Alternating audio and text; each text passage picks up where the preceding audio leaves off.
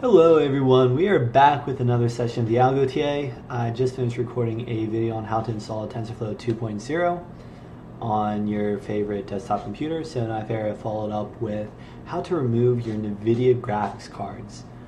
And this is vitally important for installing TensorFlow 2.0 in the first place. I figured I'd have this supplementary video uh, to show you guys how to actually remove them in case you already have CUDA installed and in case you already have the NVIDIA graphics drivers installed.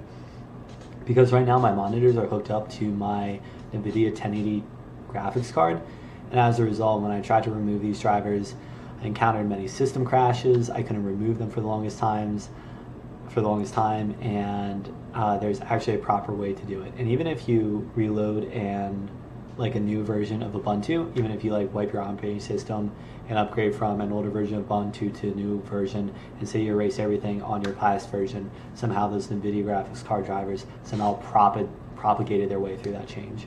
So I figured I'd just quickly show you guys how I removed them.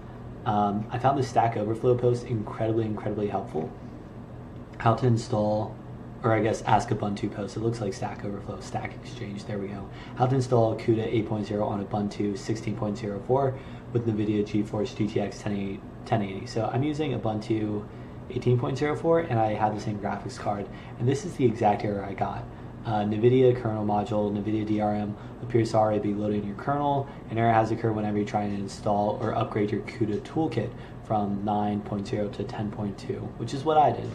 So one way you can sort of uh, verify this is by typing in NVIDIA-SMI into your terminal. So we're going to do that right now.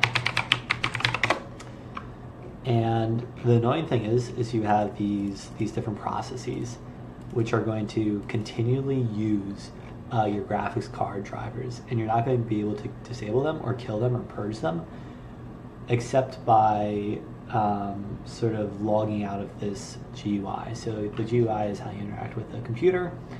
Uh, what I recommend is you get your phone, you take a picture of this, these commands, and then you just follow them uh, once you're logged out. So it's also very important to actually purge the drivers as well. Uh, you really need to purge the drivers in order to upgrade the CUDA version. Oh, and just to get out of that, you can type Control Alt F2 and that'll get out of the uh, non-GUI mode. Cool. If you've enjoyed this video, uh, as always, please like, comment, and subscribe. Every little bit helps.